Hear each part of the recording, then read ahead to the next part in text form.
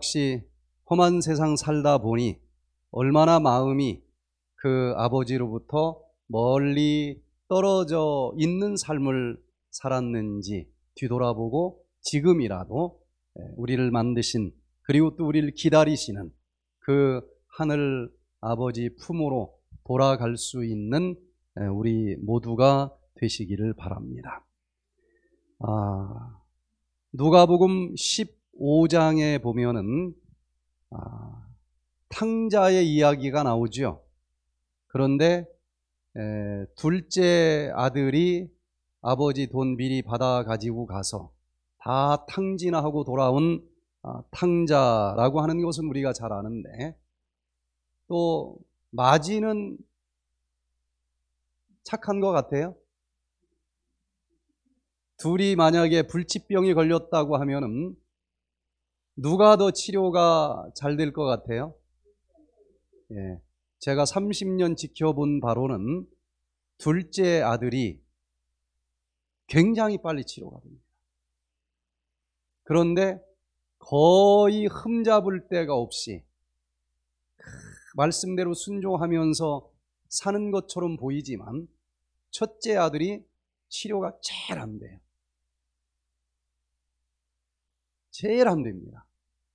그래서 이 시간에는 그냥 둘째 아들 탕자 얘기만 할 것이 아니고 겉볼 때 겉보기에는 정말 아, 효자인 것처럼 보이지만 마음에 더 심각한 질병을 가지고 있다고도 볼 수 있는 첫째 아들까지 탕자로 아, 범주에 넣어서 두 탕자의 이야기를 아, 좀 살펴보도록 하겠습니다.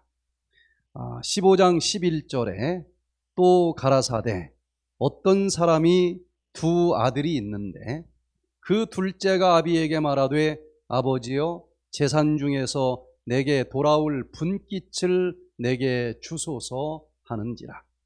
아비가 그 살림을 각각 나누어 주었더니 그 후 며칠이 못 되어 둘째 아들이 재산을 다 모아 가지고 먼 나라에 가 거기서 허랑방탕하여 그 재산을 허비하더니 16절에 저가 돼지 먹는 쥐염 열매로 배를 채우고자 하되 주는 자가 없는지라 이에 스스로 돌이켜 가로되 내 아버지에게는 양식이 풍족한 품꾼이 얼마나 많은고 나는 여기서 줄여 죽는구나. 이에 일어나 아버지께 돌아가니라.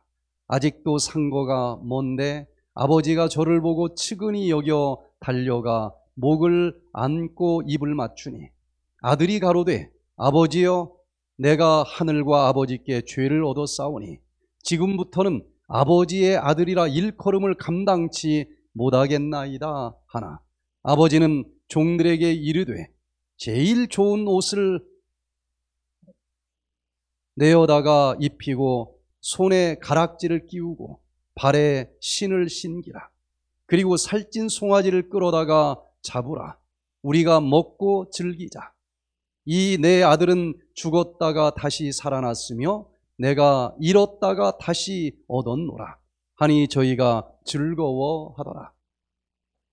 마다들은 밭에 있다가 돌아와 집에 가까이 왔을 때에 풍류와 춤춘 소, 춤추는 소리를 듣고 저가 노하여 들어가기를 즐겨 아니하거늘 아버지가 나와서 구원한데 아버지께 대답하여 가로되 내가 여러 해 아버지를 섬겨 명을 어김이 없거늘 내게는 염소 새끼라도 주어 나와 내 벗으로 즐기게 하신 일이 없더니 아버지의 살림을 창기와 함께 먹어버린 이 아들이 돌아옴에 이를 위하여 살찐 송아지를 잡으셨나이다.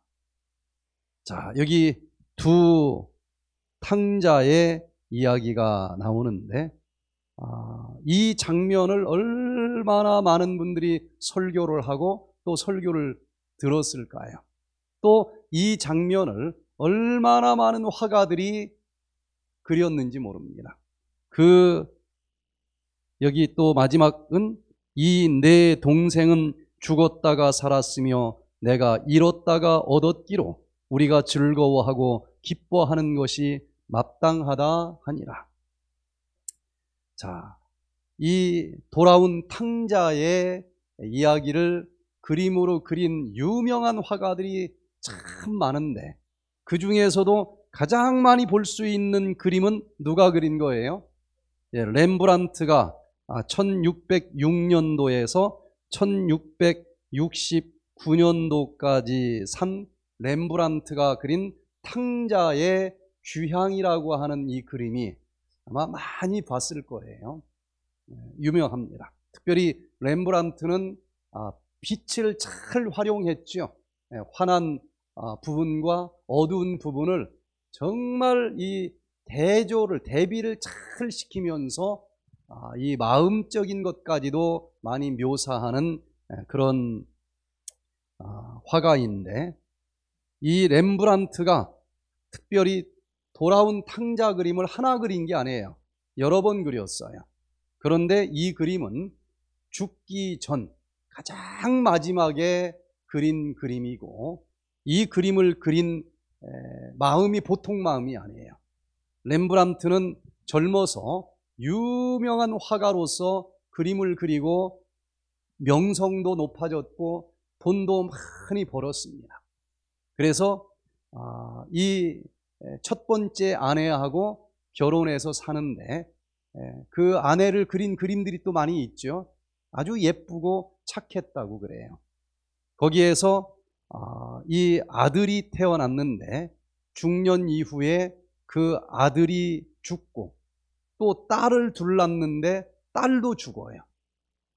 그리고 그 첫째 아들, 그 첫째 이 그 부인, 부인이 마지막으로 티투스라고 하는 아들을 또 낳고서 아주 젊은 나이에 죽습니다. 30대에 죽어요. 그러니 뭐 아무리 명성을 얻었다고 해도 그 운명은 참 기가 찬 거죠. 스트레스를 많이 받았을 거예요. 그런데 이 마지막 아들 티투스를 낳는데 얘도 오늘 죽을까 내일 죽을까 아주 병약합니다. 거기다 엄마까지 없으니 어떡하겠어요? 보모를 하나 드렸습니다. 헤르, 헤르트 해라고 하는 보모를 드렸는데 살다 보니 사랑에 빠졌어요. 사랑에 빠져서 사는데 결혼은 안 해주는 겁니다. 그러니 이 헤르트 해가 화가 났겠어요? 안 났겠어요? 오랫동안 사는데 결혼을 안 해줘. 그래서 고소를 합니다. 그래서 재판정에서 보상금을 줘라. 그런데 어마어마한 보상금이라서 이 렘브란트가 갚기에는 벅찬 돈을 갚아야만 됐어요. 그리고는 이제 헤어졌는데 또그 아, 뒤로 핸드리키라고 하는 이 하인을 하나 하인인지 가정분자 하여튼 드렸어요. 그랬는데 또 사랑에 빠집니다. 어, 그러나 이미 경제적으로 너무 어려워요. 너무 어려워서 이 핸드리키가 지혜가 있었어요. 자기가 회사를 하나 세웁니다. 그리고 렘브란트한테 맡겨가지고는 월급도 못 받게 생겼어. 그래서 렘브란트를 고용을 합니다. 자기, 자기가 회사를 세우고서. 그리고는 그림 그린 것을 잘 팔아가지고 재정적으로 그럭저럭 이제 살아갔어요. 그런데 그 핸드리키마저 사망을 합니다. 그리고 그 막내 아들 티투스도 사망을 해요. 그리고 명성도 다 없어져 버렸고 돈도 하나도 없어요. 그리고 몸은 늙었습니다. 뭐 70도 못 넘었어요 보니까 그 마지막 때 다시 탕자의 귀향이라고 하는 그림을 그립니다. 죽기 거의 직전 마지막이라고 그래요. 그런데 그냥 그린 것이 아니고 자기 인생을 뒤돌아보니 자기가 탕자였다는 거예요. 그래서 이 한 폭의 그림, 그림 속에 그냥 돈 벌기 위해서 쑥쑥 그린 게 아니라서 자기 일생을 다 녹여오는 그림이라는 거예요.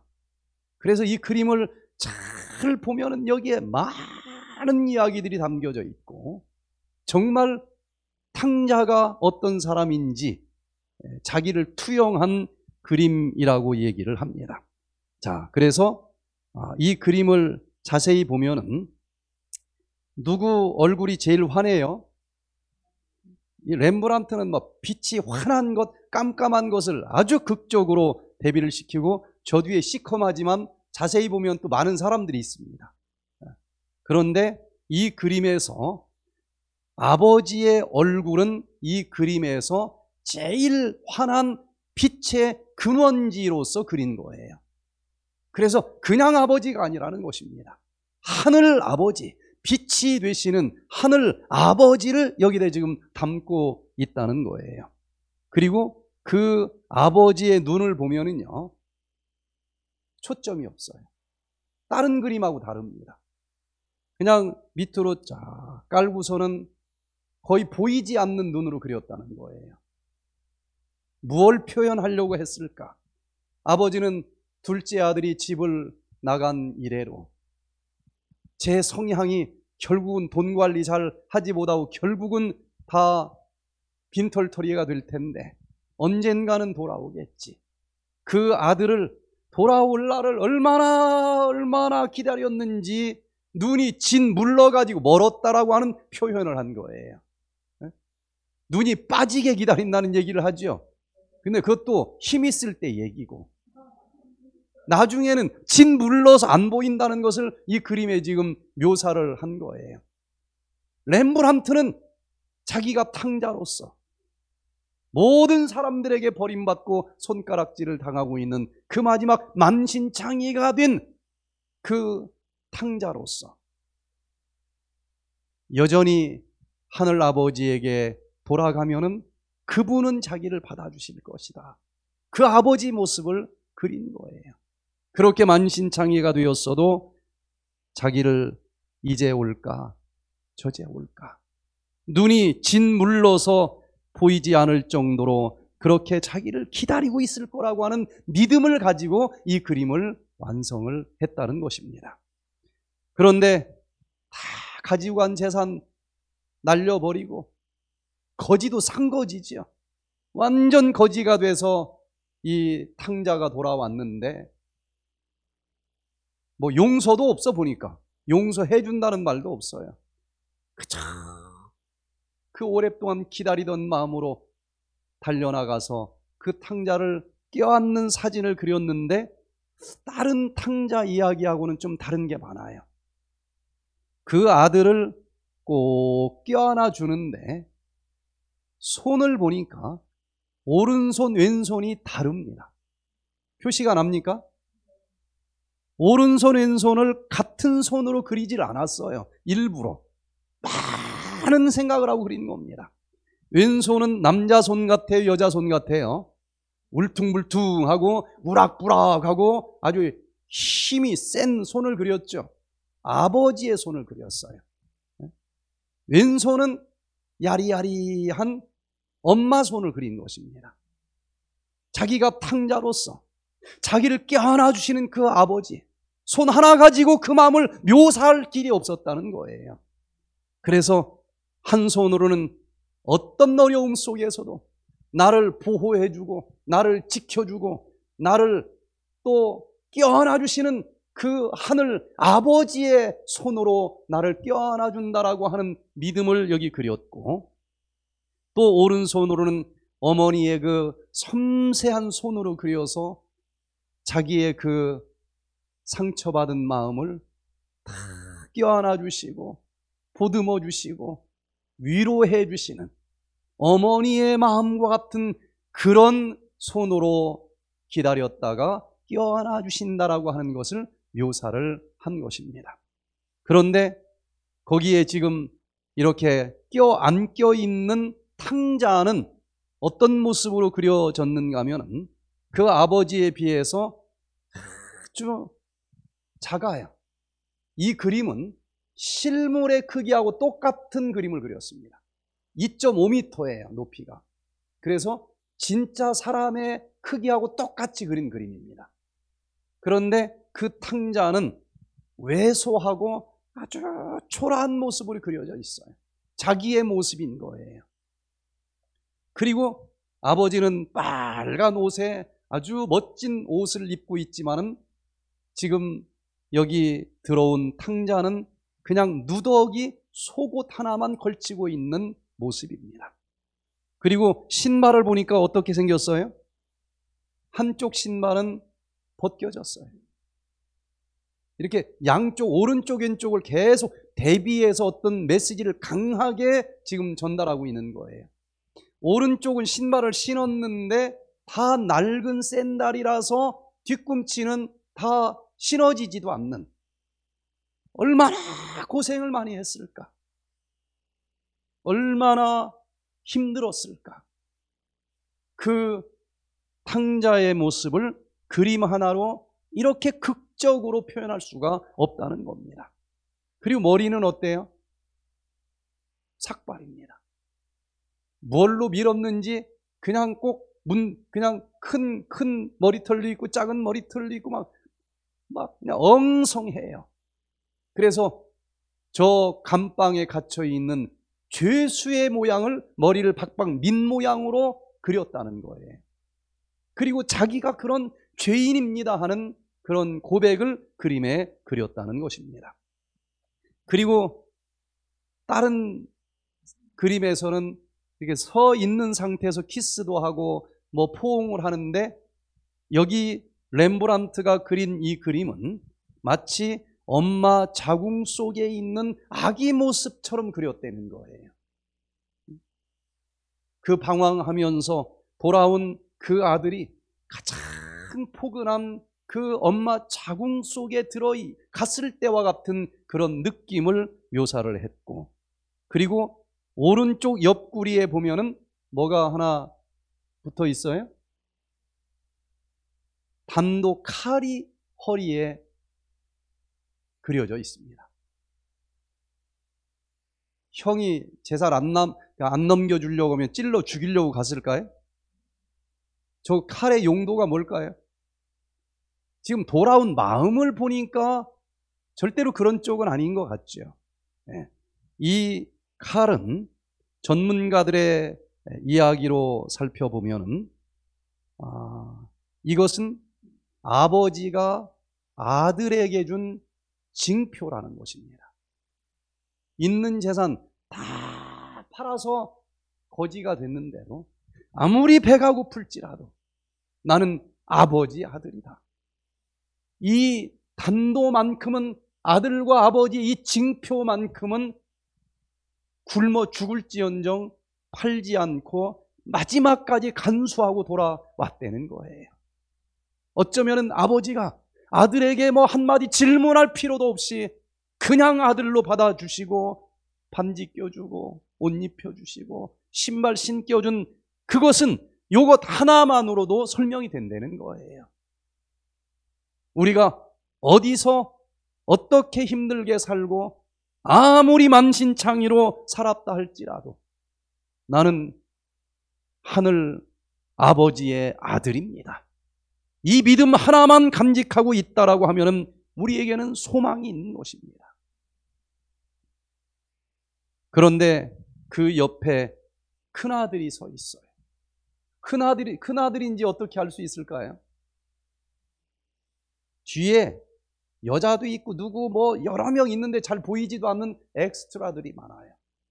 그런데 그 옆에 지팡이를 잡고 서 있는 한 사람은 옷이 아버지가 입은 좀 자리에 있을 법한 그런 긴 빨간 옷을 입고 있어요. 그리고 이 그림에서 아버지의 얼굴 다음으로 빛을 받은 얼굴을 가진 사람입니다. 빛을 받은 자예요. 상속자라는 것입니다. 그런데 그 손을 자세히 보면은요, 손도 오른손, 왼손이 또 큰아들도 달라요. 자, 손을 보니까 왼손은 환한 색으로 그렸고, 오른손은 좀 거무틱틱하게 그렸죠. 그래서 물려받기는 빛의 상속을 받았는데 한쪽 마음으로는 또 어두운 마음이 그 환한 손을 꽉 잡고 억누르고 있는 그 모습을 지금 묘사를 하고 있는 거예요. 그러면서 그 밑에 있는 동생이 오만 고난 다 겪고서 만신창이가 들어 돼가지고 들어왔는데 정말 형이라고 하면은 나머지 뭐 따질 일이 있다 할지라도 일단 불쌍한 마음이 좀 들어야 되지 않겠습니까? 그런데 그 돌아온 아들을 위해서 송아지를 잡고 풍악을 울리고 잔치를 한다는 소리를 듣고서는 이 첫째는 마음이 어땠어요? 화가 났습니다. 그리고 집에 들어가지 않겠다는 거예요. 아버지한테 따집니다. 내가 아버지한테 얼마나 열심히 했습니까? 내가 부족한 게 뭡니까? 그런데 나한테는 염소 새끼 한 마리도 안 잡아주면서 있는 재산 다 까먹고 돌아온 저 탕잔 놈에게는 송아지를 잡아주다니 이게 말이 됩니까? 다 맞는 얘기만 했어요. 그런데 이 모든 순종의 열매인 사랑은 없는 겁니다. 분명히 율법은 제대로 다 지켰어. 그런데 그 율법을 지킨 결과로 풍겨나와야 될 사랑은 빈 껍데기입니다. 어쩌면 이 큰 형과 같은 마음을 가진 신앙인들이 불치병이 걸리면 다 속여도 세포는 못 속여요. 치료가 안 됩니다. 도대체가 치료가 안 돼요. 그래서 오늘 나는 둘째 아들로서의 탕자일까? 큰 아들로서의 탕자일까? 한번 잘 살펴보면서 질병이 걸렸을 때는요, 예전과 지금 에너지의 차이를 만들어내는 것만큼 치료가 됩니다. 예전에는 이런 음식을 먹었었는데 뭐 여기 와도 내가 집에서 먹던 음식하고 별로 다를 게 없더라. 치료 안 됩니다. 아니 여기에 에너지 변화가 없지 않습니까? 음식으로서 에너지 변화가 없어요. 그냥 돼지고기 먹고 오징어 뒷다리 훑어 먹고 그러던 사람이 여기 와서 현미밥을 먹었다. 엄청난 음식의 에너지 차이가 느껴지기 때문에 치료가 그만큼 나타나는 거예요. 또 하나님 손가락질하고 막 욕하던 사람이 그땐 몰랐을 때 얘기고 알아보니 이게 굉장한 분이에요. 눈물 콧물 흘리면서 내가 이제 하나님을 아버지로 모시겠습니다. 엄청난 마음의 에너지 차이가 있는 거예요. 기적이 일어납니다. 그런데 하나님을 믿는 거에 있어서도 여기 와도 다를 게 없어요. 다 했다는 거예요. 다 했는데 사실은 껍데기만 행했지 알맹이는 하나도 없을 수 있는 거예요. 자, 그래서 나는 둘째 아들 탕자인지 큰 아들 탕자인지를 한번 이 두 탕자의 이야기에서 오늘은 어떻게 다르고 어떻게 같은지에 대해서 좀 생각을 해보겠습니다. 첫 번째, 집 밖에 있는 탕자냐, 집 안에 있는 탕자냐, 똑같은 탕자는 탕자입니다. 집 밖에 있는 탕자는 누가복음 15장 13절에 그 후 며칠이 못 되어 둘째 아들이 재산을 다 모아가지고 먼 나라에 가 거기서 호랑방탕하여 그 재산을 허비하더니 둘째 아들은 탕자는 탕자인데 아버지를 버리고 집 밖으로 떠나가 버린 탕자입니다. 얼핏 생각하면 이 아들만 탕자같이 생각이 될 수가 있어요. 그런데 큰 아들은 집 안에 있지만 교회 안에서 열심히 신앙생활하고 있지만 탕자일 수 있다는 것입니다. 네? 맏아들은 밭에 있다가 돌아와 집에 가까웠을 때에 풍류와 춤추는 소리를 듣고 그러니까 이 큰아들은 집에서 아버지와 함께 사는데 말하는 거 보니까 효자는 아닌 것 같아요. 불만이 가득 차 있어요. 내가 시키는 대로 하라고 하는 대로 율법과 계명과 모든 것 다 지켰다는 것입니다. 근데 왜 주는 게 없느냐는 거예요. 집에 있고 직책도 있고 신앙도 제대로 하는 사람이지만 사실은 겉 행동만 그렇지 그 행동을 담, 행동이 담고 있는 그 율법의 정신은 없는 그래서 집 안에 있는 탕자일 수도 있다는 거예요.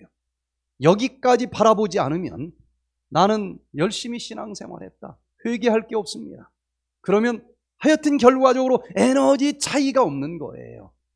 에너지 차이가 없으니 이 세포에서 변화가 나올 수가 없는 것입니다. 그런데 로마서 3장 10절에서는 기록한 바 의인은 없나니 하나도 없으며 그런데 첫째 아들은 자기는 열심히 했고 자기는 의인이라는 얘기 아니겠습니까? 그런 마음을 갖고 있으면 치료가 안 돼요. 여러분, 큰 바위 덩어리도 물 속에 집어 넣으면 가라앉고 조약돌로 집어 넣으면 가라앉아요. 큰 살인 강도한 죄도 죄고 거짓말한 죄도 죄는 죄입니다. 죄의 싹은 사망이에요. 그러니 자기가 아무리 열심히 신앙생활 했다고 해도 기록된 바 의인은 없나니 하나도 없다 그랬으니 이런 질병에 걸렸을 때에 그게 작은 것이든 큰 것이든 죄는 죄고 병이 들어 죽을 수밖에 없는 죄 아니냐 이거예요. 그러니 정말 다시 한번 이 시점에서 회개의 눈물을 흘려야 되는데 눈물조차 나오질 않아요.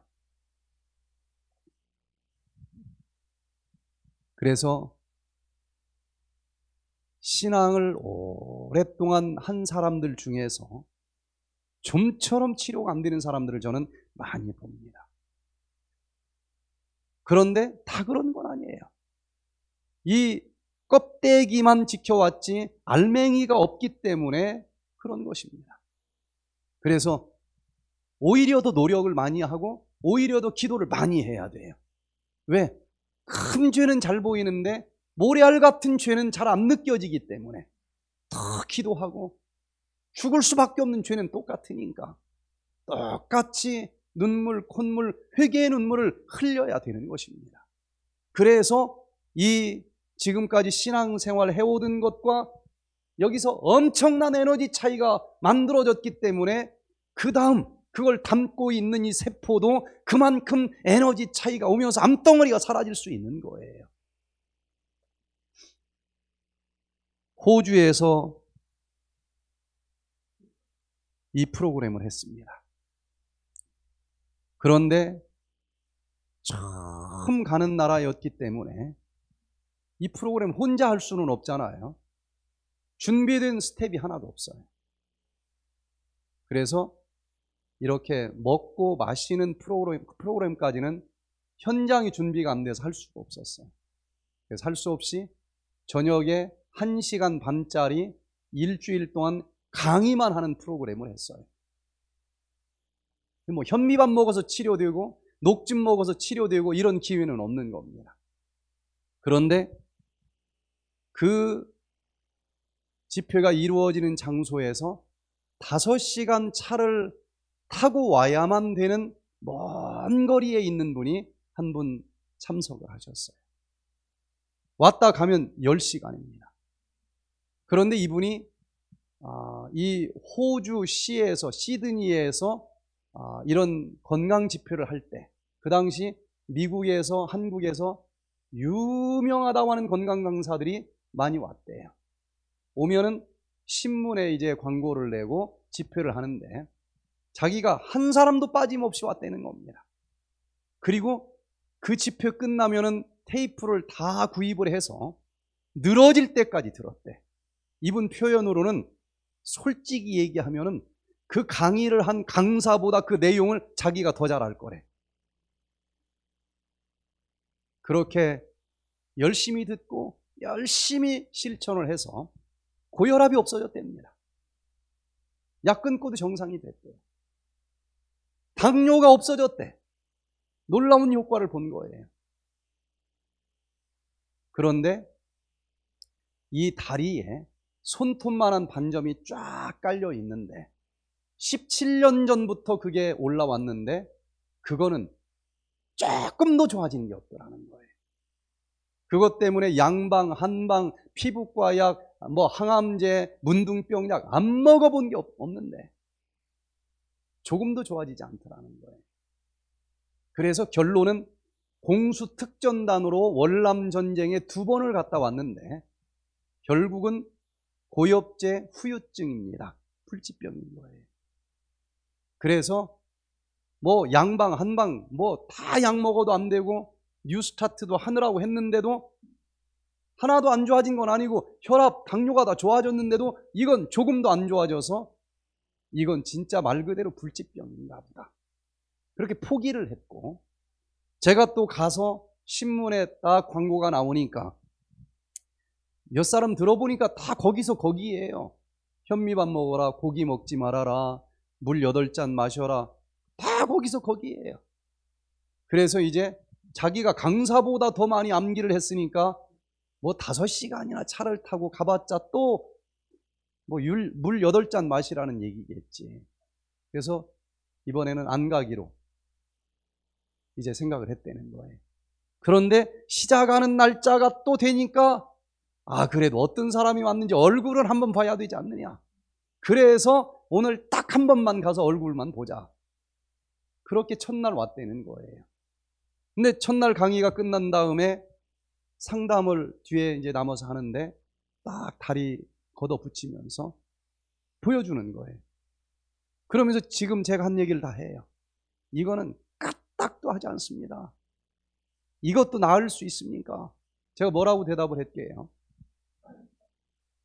그때가 30년 전입니다. 저는 타이틀도 없고 어떤 뭐 아직 의학 공부도 안 했을 때이고 많은 환자를 아직 만난 경험도 없어요. 뭐라고 대답을 해야 되겠어요? 그렇게 막 쭉 얘기하면서 여기도 불치병이라고 그러고 저기도 불치병이라고 그러고 뭐 현미밥 먹는 프로그램으로도 불치병이고 안 낫는다는데 제가 뭐라고 얘기를 할 수 있겠어요? 그때 제 마음 속에 제가 이 병은 솔직히 처음 봅니다. 그러나 하나님이 흙으로 인간을 만드셨는데 그 하나님께서 손을 내밀면 저는 이 병이 어떤 병인지 몰라도 틀림없이 치료될 것이라고 믿습니다. 제 마음속에 그 믿음이 생겼어요. 그런데 문제는 그 거룩한 하나님께서 당신 마음속에 임하시려면 이 속에 있는 더러운 것을 다 씻어야 되지 않겠느냐. 이분은 40년 동안 열심히 신앙생활 하신 분이에요. 그래서 다 잘하고 계시겠지만 에너지 차이만큼 질병 치료의 결과가 나오니까 하여튼 찾아라. 이 속에 저 깊은 잠재 의식 속에 아직도 남아있는 죄가 있, 거든 당신은 생각이 안 날 테니까 이 모든 것을 기억나게 하시는 성령님께 간구하면서 주님 다 내가 잊어버린 잠재의식 속의 죄까지 이번에 다 십자가 앞에 눈물로 눈물로 내려놓고 씻기를 원합니다. 그렇게 한번 보내봐라. 그랬더니 이분이 그 다음날로 오고 제일 앞자리에 앉아요. 무슨 사연인지는 모르지만 매 시간마다 그냥 눈물 콧물 흘리면서 듣더라고요. 일주일을 그렇게 지내요. 그리고 마지막 날 이제 딱 하루 끝나는 날 그때는 낮에 한 번 집회를 하면서 점심 식사를 일주일 중에 딱 한 번을 나눠 먹고 이제 끝나는 그런 순서였어요. 이분이 밥을 이렇게 트레이다가 퍼가지고 제 앞으로 옵니다. 그러면서 원장님 그러더니 또 눈물을 주르륵 흘려요. 제가 40년 동안 신앙을 해왔고 정말 열심히 신앙했다고 저는 생각을 했습니다. 그리고 저는 꽤 괜찮은 남편이라고 생각을 했습니다. 월급 받아서 한 푼도 안 떼어먹고 다 갖다 줬대. 누구 뭐 어떤 여자하고 부인 안 보내는 데서 한 번도 뭐 무슨 짓 한 것도 없대. 그만하면 만점 남편이라고 생각을 한 거예요. 그런데 이번 한 주일 동안 기도하면서 성령께서 임하시는데, 아, 자기가 참 모진 남편이었다고 하는 게 보이더라는 거예요. 부인이 숨 막혀 죽었을 것 같다는 생각이 들더래요. 무슨 얘기인지 아시겠어요? 자기는 다 잘했는데 성령께서 보여주시는 걸 보니까 아직도 안 죽은 게 이상한 것처럼 숨 막혔을 것 같더래. 그래서 십자가 앞에 눈물로 눈물로 이 모든 것을 회개하면서 부인 손을 잡고 여보 내가 괜찮은 남편인 줄 알았는데 너무 못된 남편이었어. 군대식으로만 한 거예요. 내가 정말 잘못했어. 나한테 한 번만 기회 줄래? 정말 나머지 여생은 당신을 정말 사랑하면서 살고 싶다. 또 아들을 생각해 보니 괜찮은 아빠인 줄 알았더니 빵점 아빠들의 눈물로 눈물로 하나님 제가 잘못 살았습니다. 아들 손잡고 아들아 아빠 노릇을 너무 못했다. 한 번만 기회를 더 줄래. 정말 아빠답게 살 수 있는 기회를 한 번만 줘라. 그리고 마음속에 걸리는 사람들마다 찾아가든지 아니면 한국에 있어서 갈 수가 없으면 전화를 하든지 편지를 쓰든지 기도할 때마다 좀 떠오르는 마음에 걸리는 모든 사람들한테 일주일 그렇게 눈물로 눈물로 지냈다는 거예요. 제가 40년 동안 정말 열성분자로 교회를 다녔지만 저는 지난 한 주일만큼 십자가를 많이 생각한 적이 없습니다. 일평생 생각했던 십자가보다 지난 한 주일 동안 더 많은 십자가와 함께 지냈습니다. 모든 죄를 눈물로 다 씻어냈더니 그 정결해진 그릇 속에 거룩함 치료의 영이 들어왔다는 거예요. 바지를 걷어붙입니다. 17년 동안 문둥병약을 먹고 항암제를 먹어도 끄떡도 하지 않던 그 반점이 이것 보세요 하면서 걷어붙이는데 싹 사라지는 것입니다. 여러분, 첫째 아들과 같은 탕자는 아닌지,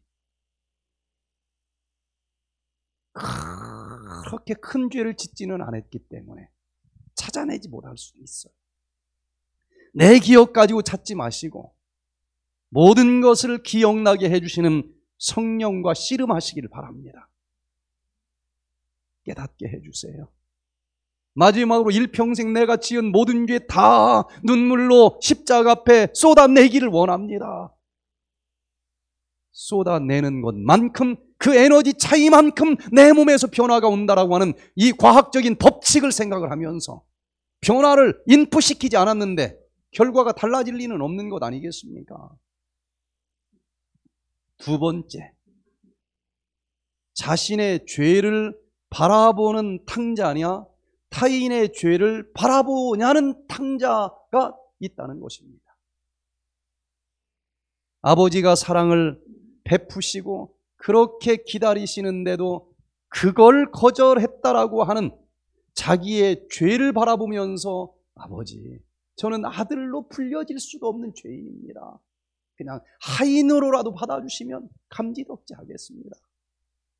이 둘째 아들은 자기 자신의 죄를 바라보는 사람입니다. 자기 자신의 죄를 바라보는 자는 분명히 탕자지만 하나님은 그런 자를 사랑하십니다. 그래, 내가 너의 그 죄를 짊어지고 그래서 죽은 것이다. 너는 내 아들이다. 누가복음 15장 18절에 내가 일어나 아버지께 가서 이르기를 아버지여 내가 하늘과 아버지께 죄를 얻었사오니 이에 일어나서 아버지께 돌아가니라. 여러분 다른 데 쳐다보지 마시고 나머지 여생은 내 자신의 죄만 쳐다보면서 사는 탕자가 되기를 바랍니다.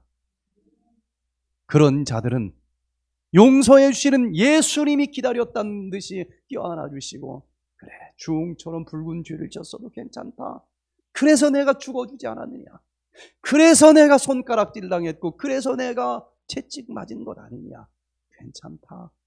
힘눈처럼 씻어주었다. 다시 살거라. 다시 일어나거라.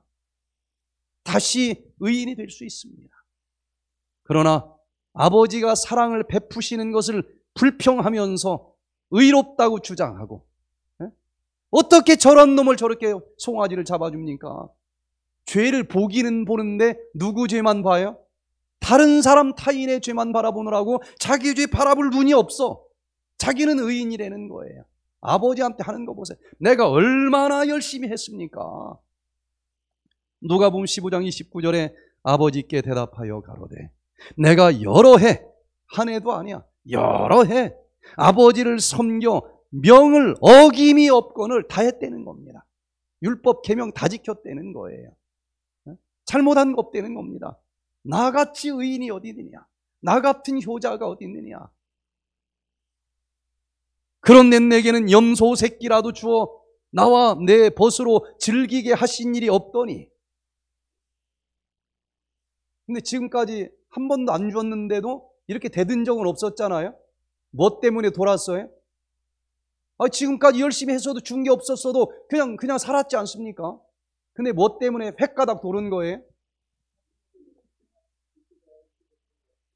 아버지의 살림을 창기와 함께 먹어버린 이 아들이 돌아오매 타인의 죄를 바라보면서 화가 난 거예요. 타인의 죄를. 여러분, 절대로 치료되기를 원하면 타인의 죄를 바라보지 마시길 바랍니다. 그 사람의 죄는 그 사람이 하나님과 함께 해결해야 될 문제예요. 내가 해결해야 될 문제가 아니고 그것 때문에 내가 내 죄를 바라볼 힘이 없어서 내가 죄가 있음에도 불구하고 회개하지 못하고 치료되지 못하고 죽는 것입니다. 남의 죄를 바라보는 탕자. 우리는 무, 조건 다 탕자입니다. 죄인이에요. 그러나 내 죄를 바라보는 탕자여야지. 남의 죄, 남편 죄 소망이 없습니다. 그걸 바라면 소망이 없어요. 남편이 아무리 못됐어도 남편과 하나님과의 문제예요. 아무리 지적해도 그걸로 고쳐지는 사람 이 세상에 역사적으로 한 명도 없어요. 한 명도 없어 그걸로는.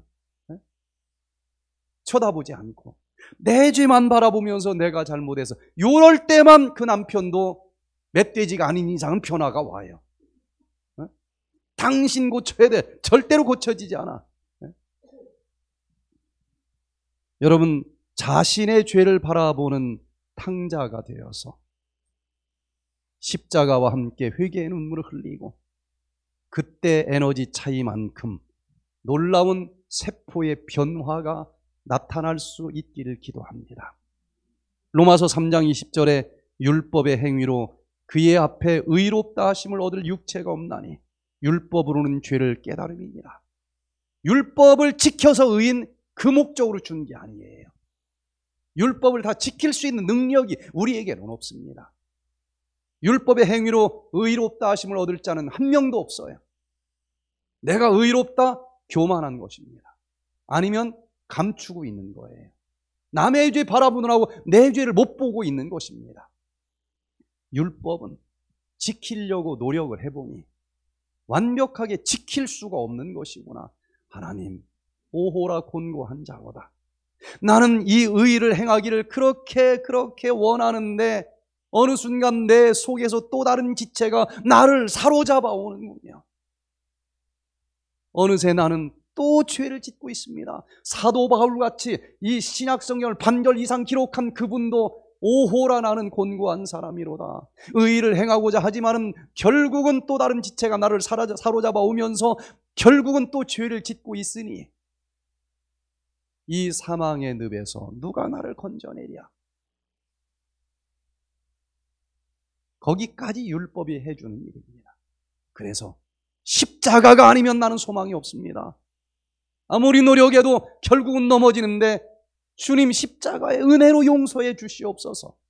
그리고 내 힘으로는 안 됩니다.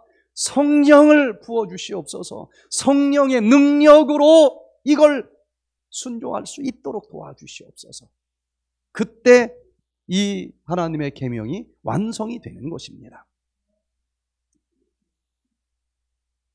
자신의 죄를 바라보는 탕자가 있고 타인의 죄를 바라보는 탕자가 있다는 것을 기억하면서 십자가의 은혜로 내 죄를 씻고 그리고 그 빈 영적인 그릇 속에 치료의 성령을 받아서 기적적인 치료의 주인공이 되시기를 바랍니다.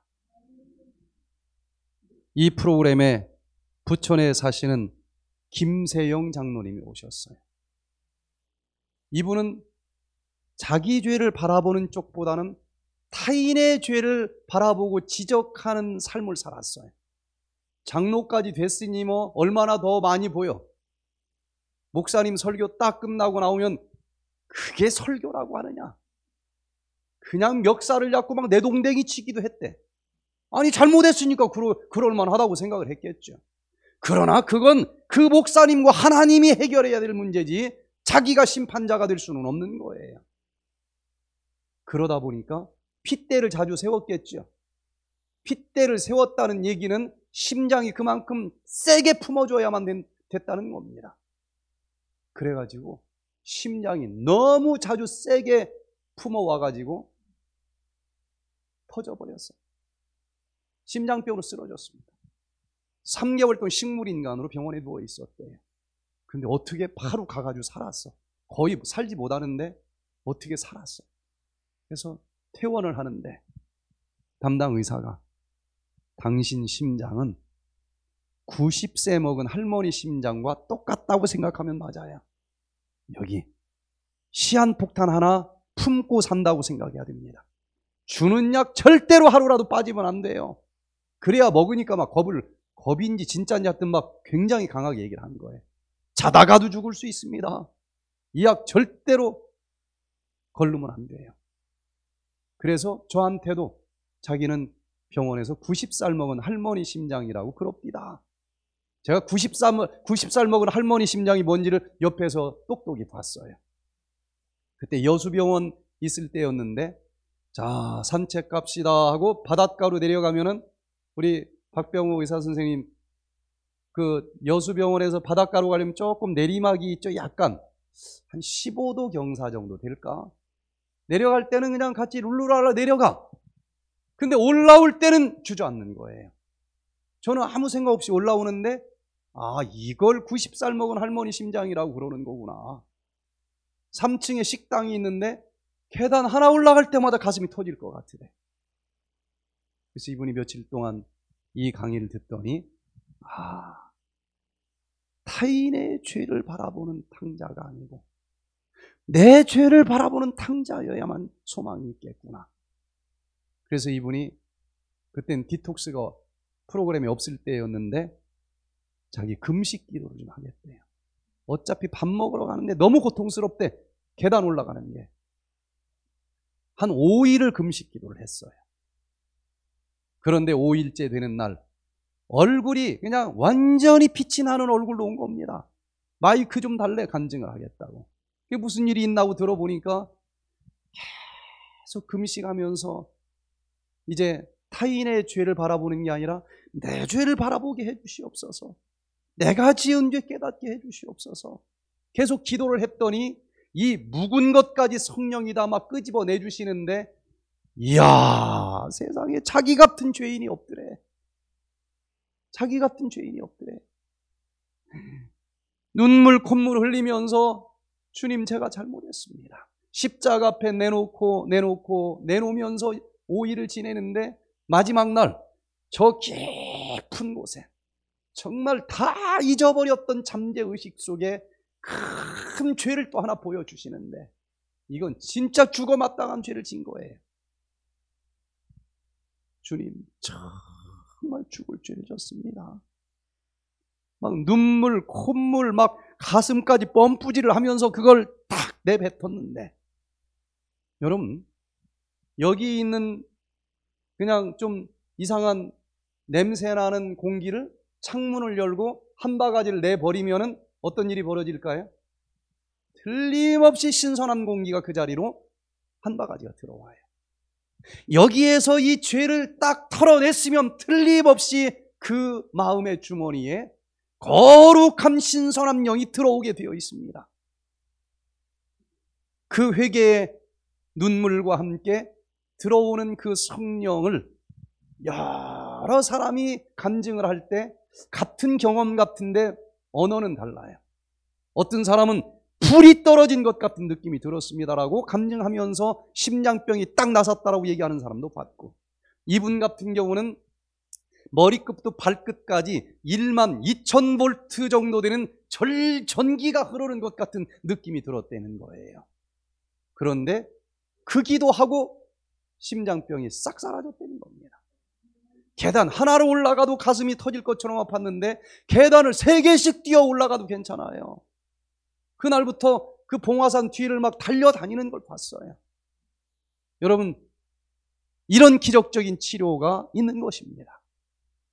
타인의 죄를 바라보는 탕자가 되지 마시고, 내 자신의 죄를 바라보게 해달라 기도하는 그런 탕자가 되어서, 이 속에 저 밑에 감춰져 있는 죄까지 다 덩어리채 쏟아 버리시고, 십자가 앞에서 용서 받으시고, 그 빈자리에 불같은 성령, 치료의 성령 받으셔서 그 질병이 어떤 종류의 질병이라 할지라도 기적처럼 치료될 수 있는 그 놀라운 기적을 저는 이 프로그램에서 다는 아니지만 분명히 중간중간중간 봅니다. 그런 주인공이 될 수 있기를 간절히 바랍니다. 세 번째, 아버지 집으로 돌아오는 탕자가 있고, 그렇게, 그렇게 들어오라고 하는데도 끝까지 들어가기를 거절하는 탕자가 있다는 거예요. 다 탕자입니다, 이 세상은. 그러나 아버지 집으로 돌아오는 탕자가 있고 끝까지 들어가기를 거절하는 탕자가 있을 뿐이에요. 여기 누가복음 15장 20절에 보니까 이에 일어나서 아버지께 돌아가니라. 둘째 아들 탕자죠. 아무리 재산 다 말아먹었어도 이게 보통 믿음이 아닌 겁니다. 예? 염치가 있어야지. 누가 그러더라고. 자기는 기도 못한대. 치료해달라고 기도 못한대. 아니, 왜 못합니까? 아니, 일평생 이지저지 다 하고서 염치가 있어야지. 제가, 그래도 충청도 양반인데요. 자기는 그렇게는 못한대. 믿음이 없는 거예요. 죽을 수밖에 없는 죄를 졌어도 용서해 주시는 그 아버지 하나님의 사랑을 믿는 게 이게 믿음인 것입니다. 믿음으로 치료되는 거예요. 아버지께 돌아가시기를 바랍니다. 아직도 상거가 뭔데 아버지가 저를 보고 측은히 여겨 달려가 목을 안고 입을 맞추니 아들이 가로되 아버지여 내가 하늘과 아버지께 죄를 얻었사오니 지금부터는 아버지 아들이라 일컬음을 감당치 못하겠나이다. 이게 말장난이 아니고 진짜 그 탕자의 마음이었을 거예요. 여러분, 죄가 많은 곳에 은혜가 넘칩니다. 자식을 여러 명 낳아보신 분은 아프지도 않고 그냥 저 낭떠리다 굴러 내려뜨려도 살아남을 것 같은 놈보다도 이게 오늘 저녁에 죽을까, 내일 저녁에 죽을까, 누가 더 마음속에 더 안타까운 마음과 사랑하는 마음이 담아 있어요? 그 모질한 아이가 더 마음이 가는 것 아니겠습니까? 내가 연약하고 아무리 죄를 많이 졌을지라도 돌아가기만 하면 하나님은 버섯, 버섯, 이 버선발을 어? 신고서 달려와서 나를 껴안아 주시는 그 아버지 하나님이라고 하는 것을 기억하시면서 아버지에게 돌아가는 탕자가 되시기를 바랍니다. 근데 큰아들은 어떻게 했어요? 누가복음 15장 28절에 저가 노하여 그 이유는 남의 죄를 받기 때문에 그래요. 비교했기 때문에 그래요. 저가 노하여 그 아버지 집에 들어가기를 즐겨 아니하거늘 아버지 집에 들어가기를 싫어하는 거예요. 아버지가 나와서 구원함에 들어가자 그러는 것 아니겠어요? 구원했어 아버지가 들어가자. 아버지께 대답하여 가로되 내가 여러의 아버지를 섬겨 명, 명을 어김이 없거늘 내게는 염소 새끼라도 주어 나와 내 벗으로 즐기게 하시니 없더니 그 불평이 있으니 그 아버지와 같이 살맘이 있겠습니까? 들어갈 수가 없는 거예요. 여러분 아무리 죄를 많이 졌을지라도 아버지에게 돌아가는 자들이 되기를 바랍니다. 엄마가 자식이 잘못한 것을 보고 막 때렸어. 그랬더니 막 울면서 대문을 박차고 나가. 안 돌아와. 근데 둘째도 똑같이 때렸는데 아파 죽겠다고 하면서 이놈은 막 치맛자락 붙잡고 엄마 품속에 파고들어. 누가 더 예뻐요? 누가 더 예쁩니까? 우리와 똑같은 형, 형상을 가진 하나님도 마찬가지 아니겠어요? 아이고, 무슨 염치로 돌아가. 아니, 그럴수록 파고 들어가야 되는 거예요. 아버지 집에 들어가시기를 바랍니다. 그래야 그분이 치료를 해 주시는 것입니다.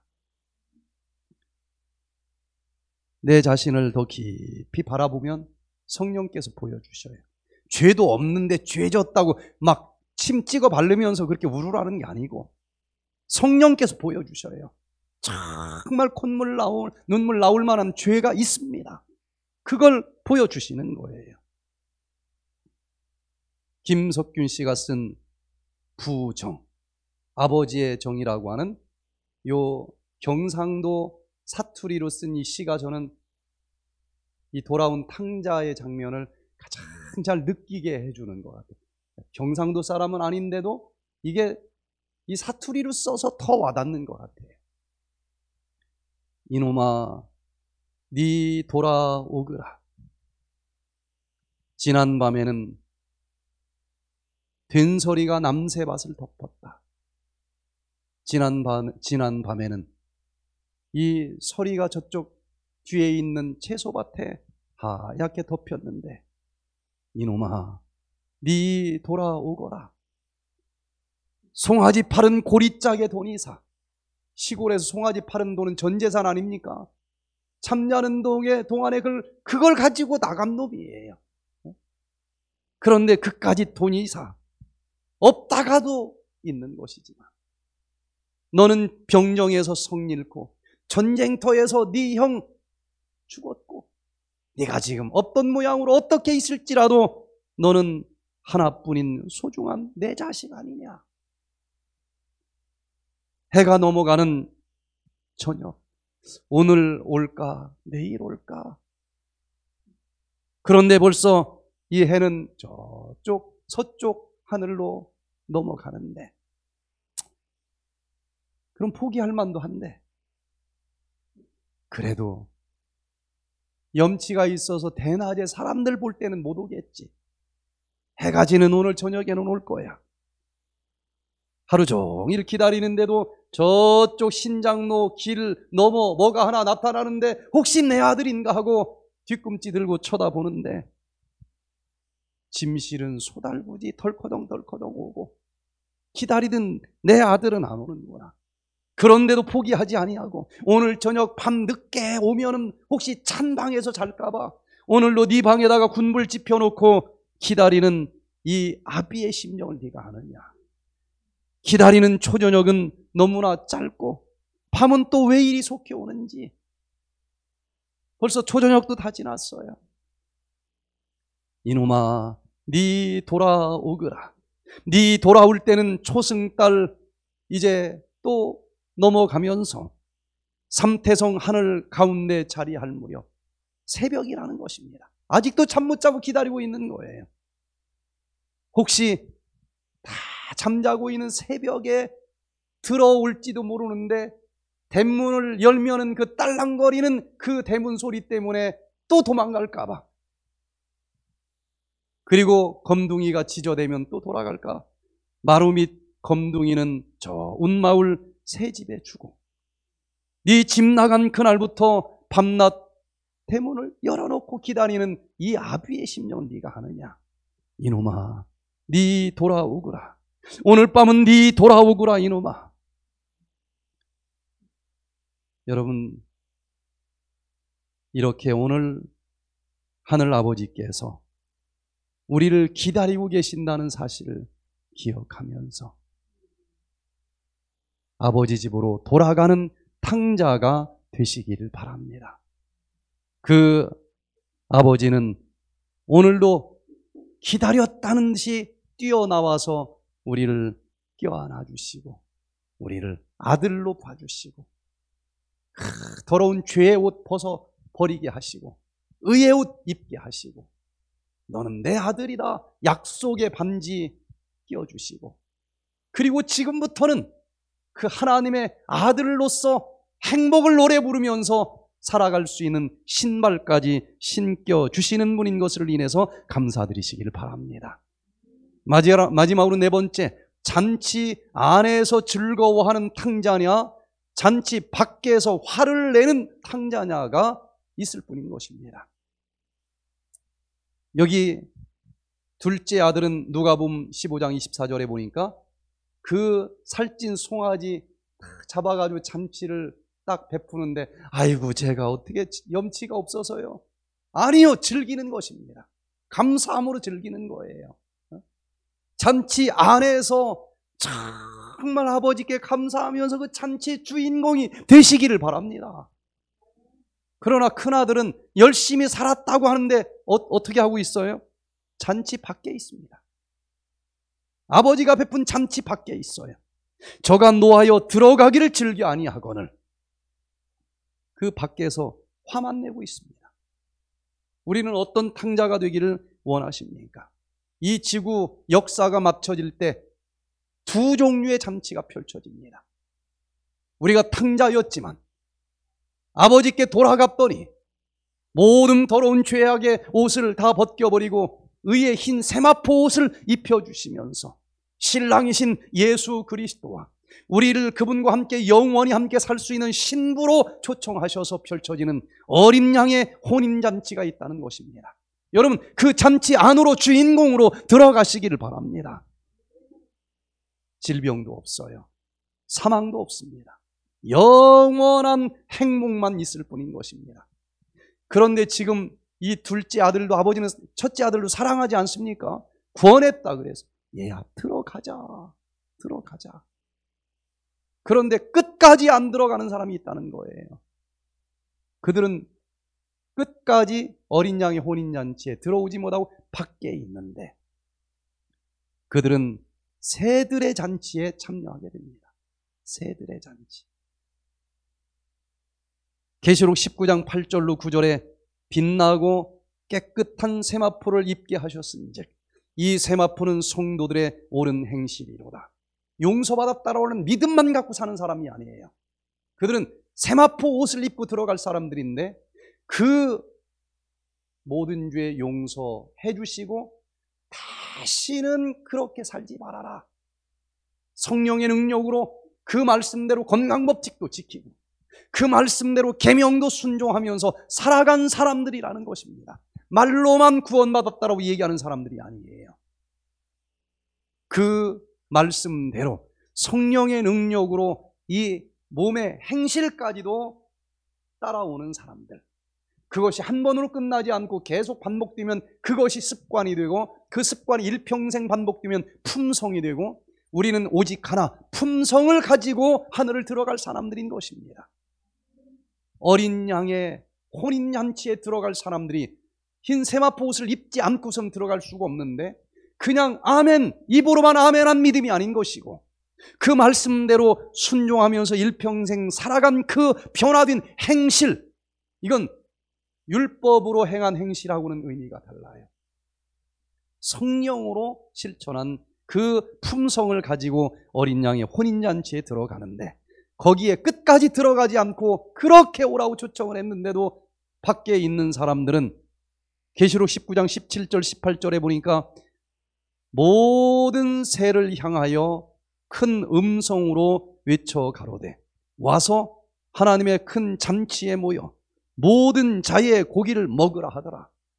어린 양의 혼인잔치에 참여하지 못하고 그 밖에 있는 자들에게는 새들이 다 날라와서 그들의 고기를 찍어 먹는 새들의 잔치에 제물이 된다고 결론이 나온 것입니다.